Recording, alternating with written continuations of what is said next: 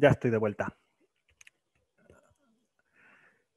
Em, vamos a ver ahora otra librería de gráficos, eh, aparte del ggplot que, hemos visto antes, que es eh, bastante popular y es la llamada Plotly. Esta librería la podemos encontrar tanto en, R como, como, en Python o en JavaScript. Eh, pues tenéis más información en la web, ¿vale? En plotly.com. Aquí tenéis la, información. Esta es una empresa que se dedica pues eso, a, temas de, al desarrollo de, este, eh, de esta librería y de Dash también. Em, información, la documentación la podéis encontrar aquí. ¿vale? Y aquí tenéis distintos ejemplos de cómo, de cómo usarlo en, R.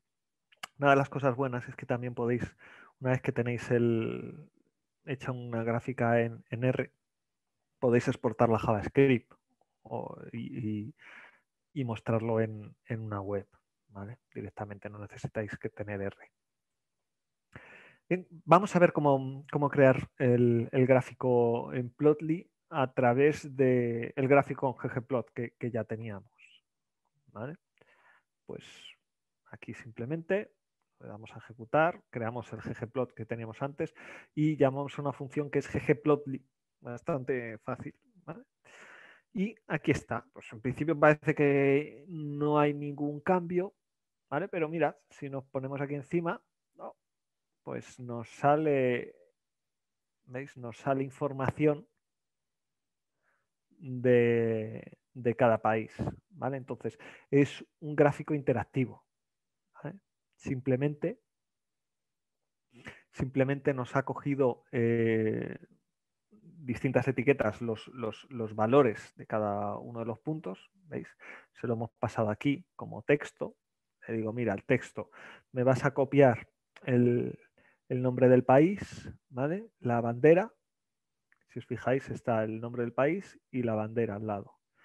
Em, y luego, pues nada, el, color, el continente, que es lo que me ha puesto aquí, ¿vale? Que, y que nos lo señala también en, el, cuadradito este que flota. Y las otras variables que estamos usando, el X y el Y, ¿vale? Y el tamaño, y nos lo enseña como variables. Entonces así podemos ver aquí, por ejemplo, el que está peor, el peor desarrollo sostenible, pues parece que es eh, la República Centroafricana. El que tenía menos felicidad, Afganistán, ¿vale? Botswana, ¿vale? Aquí, pues países más que tienen un GDP más alto, pues aquí los que son más, más grandes. Por aquí Singapur, un, PIB por persona más, más alto.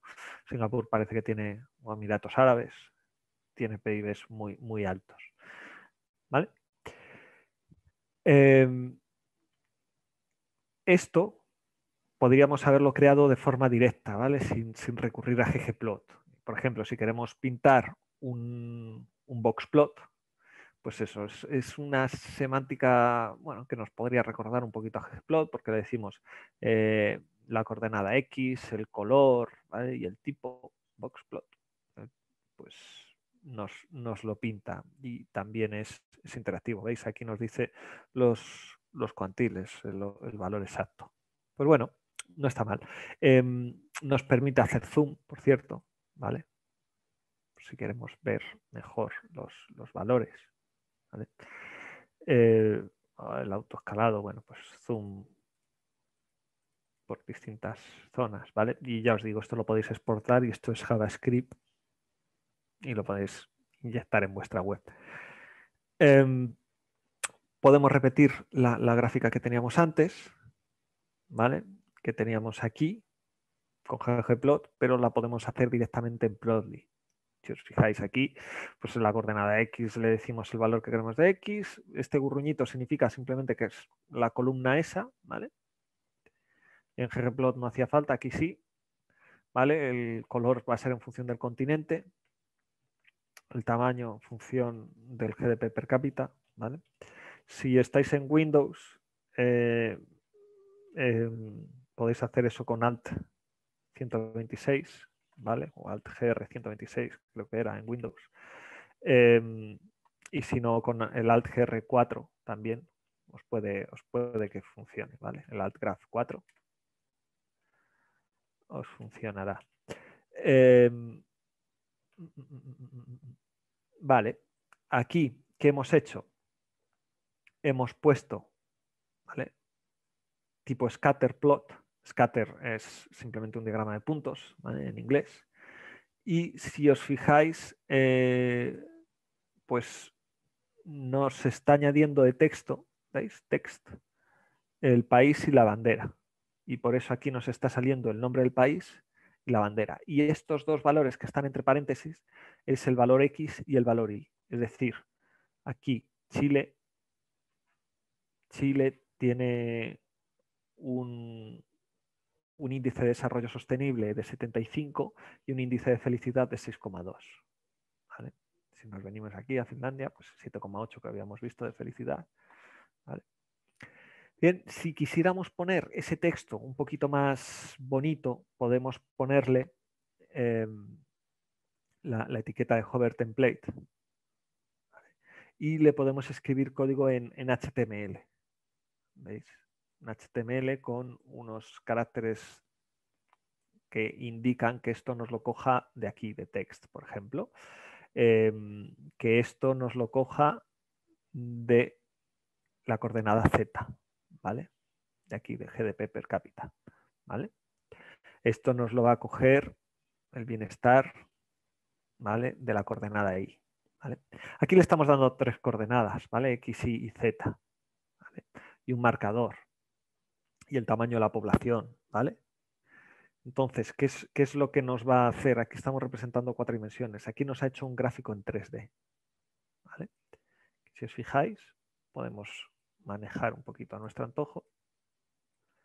¿vale? Y podemos... A ver, hay que tener un poquito de arte con esto. ¿Vale? Podemos ver las tendencias que hay. Esto con la rueda del ratón puedes quitar zoom o hacer zoom. ¿Vale? Aquí países muy grandes, este es la India, ¿vale? Y este es China. Veis las bolas que son muy grandes porque hemos hecho las bolas en función de, la población, ¿vale? Eh, vemos ahí el PIB per cápita es 6.400 dólares en, India, 15.000 en China, ¿vale? Si venimos aquí a los países, a estos países a Luxemburgo, tiene un PIB per cápita súper alto, 94.000. ¿Veis? El PIB per cápita está en, ese, en, este eje. ¿Vale? Bueno, los gráficos 3D, cuidado con ellos que a veces es más difícil verlos, ¿vale? Y, y puede costar un poquito, ¿vale? Que sepáis que tenéis esta opción.